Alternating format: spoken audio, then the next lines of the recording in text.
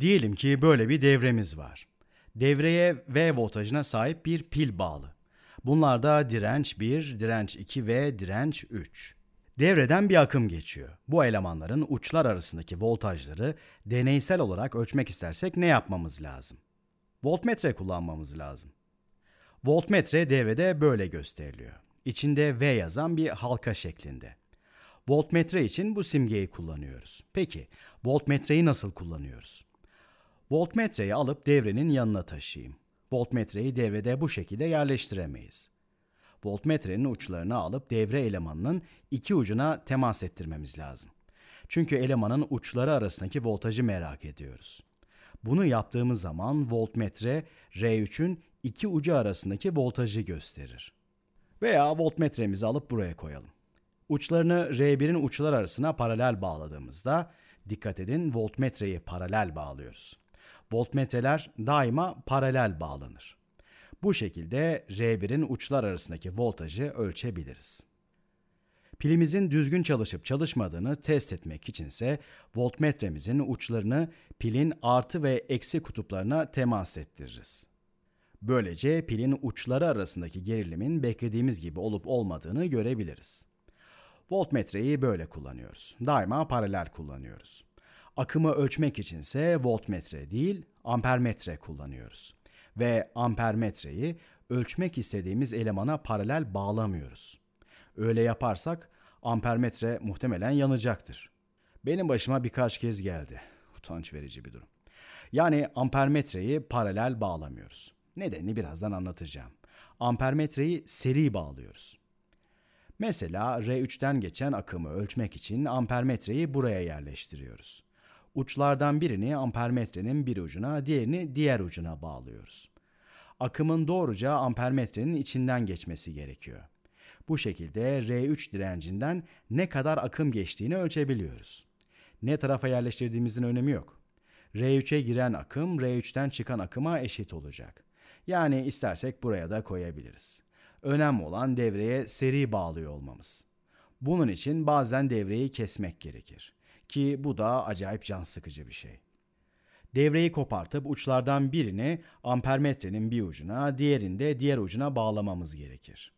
Voltmetrede ise bunu yapmak zorunda değiliz. Uçlarını alıp ölçüm yapmak istediğimiz yerlere değdirmemiz yeterli. Ama ampermetreyi kullanmak için devreyi kesmemiz gerekir. Ampermetreyi de istediğimiz yerde kullanabiliriz. Mesela buraya koyarsak bu aralıktaki akımı ölçeriz. Tekrar ediyorum ampermetre ölçülmek istenen devre elemanına daima seri bağlanır. Mesela ampermetre bu konumdayken pilden geçen akımı gösterir. Peki voltmetre için niçin daima paralel bağlanırken ampermetre daima seri bağlanıyor? Ampermetreyi seri bağlıyoruz çünkü devredeki bir hat üzerinden geçen akımı ölçmek istiyoruz. Bu direncin üzerinden geçen akımı ölçmek istiyoruz. Yani bir şeyin üzerinden geçen akımı ölçmek için akımın ampermetremizin üzerinden geçiyor olması lazım. Umarım anladınız. Üzerinden geçen akım önemli. Evet, ölçümü böyle yapıyoruz. Hal böyle olunca ampermetreler çok düşük dirence sahip olacak şekilde tasarlanıyor. Ampermetrenin direnci çok düşüktür. Nedeni de şu. Büyük dirence sahip bir ampermetreyi alıp buraya koyarsak, devrenin bu kısmından geçen akımı değiştirmiş oluruz. Biz bunu yapmak istemiyoruz. Bizim amacımız ölçmek istediğimiz şeye müdahale etmek değil. Yani ampermetreyi buraya koyduğumda buradan geçen akımın şiddetini değiştirmek istemem. Ampermetre burada olmasaydı buradan ne kadar akım geçerdi onu ölçmek istiyoruz. Dolayısıyla buraya koyacağımız ampermetrenin devre üzerinde çok küçük bir etkisi olması lazım. İşte o yüzden ampermetreler çok düşük bir dirence sahip olacak şekilde üretiliyor. Hatta ampermetreyi devreye seri bağlayamamamızın nedeni de bu. Çünkü bağlarsak bakın neler oluyor. Bu bizim ampermetremiz. Bir ucunu buraya, birinde buraya bağlıyoruz. Akım hangi yolu izler? Akım bu şekilde ilerler, böyle gelir, bu çatala ulaşır.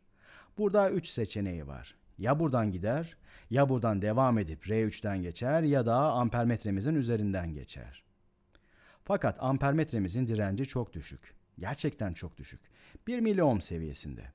Dolayısıyla devredeki akımın tamamı diğer tüm dirençleri atlayarak ampermetremizden geçmeyi tercih eder. Hepsi ampermetreden geçer.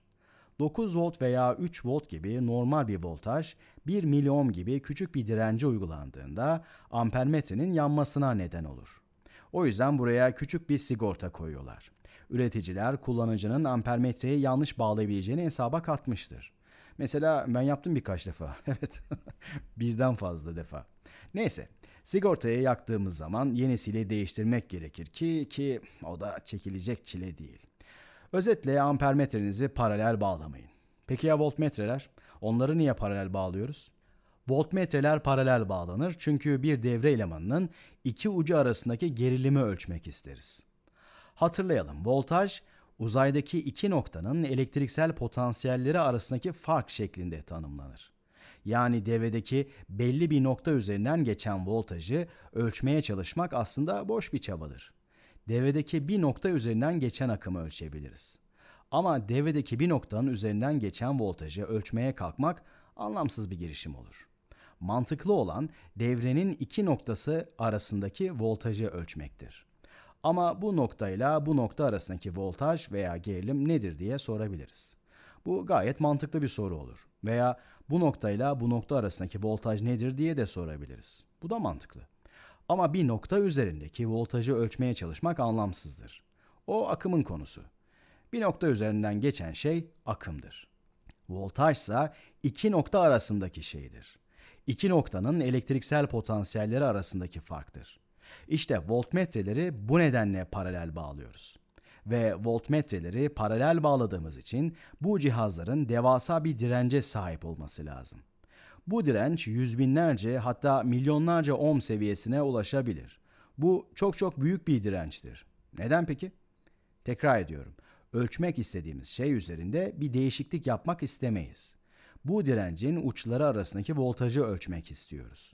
Bu uçlara çok düşük dirençli bir voltmetre bağlayacak olursak ne olacağını zaten konuşmuştuk.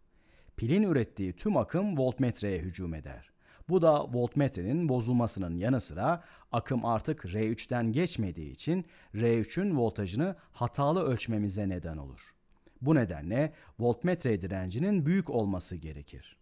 Evet teknik olarak çok çok küçük. Belki 1 miliamper seviyesindeki bir akım voltmetrenin üzerinden geçer. Çünkü sonuçta bir ölçüm yapmamız gerekiyor.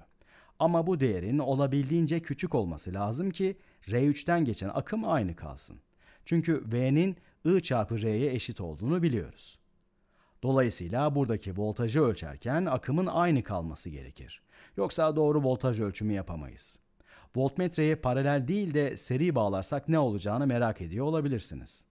Voltmetrenin direnci çok büyük olduğundan bu voltmetreyi buraya yerleştirdiğimizde bu direnç aşılamaz. Çünkü akım ne yapar? Pilden çıkar, çatala gelir ve iki seçenekle karşılaşır. Ya sağdan gidip R3'ten ve voltmetreden geçecektir ya da soldan gidip R1 ve R2'den geçecektir.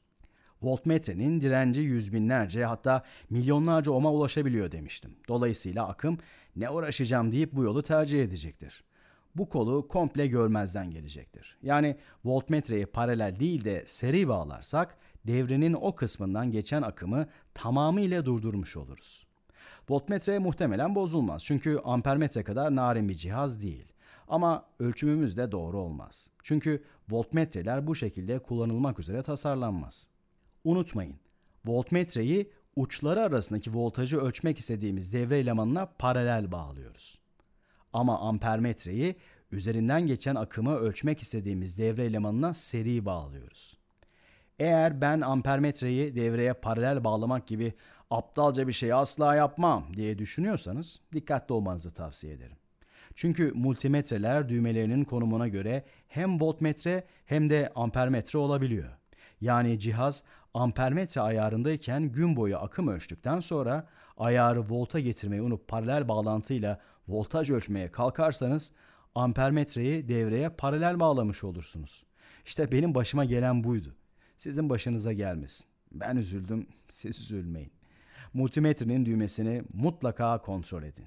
İstediğiniz ayarda olduğuna emin olun ki sigortayı yakmayasınız.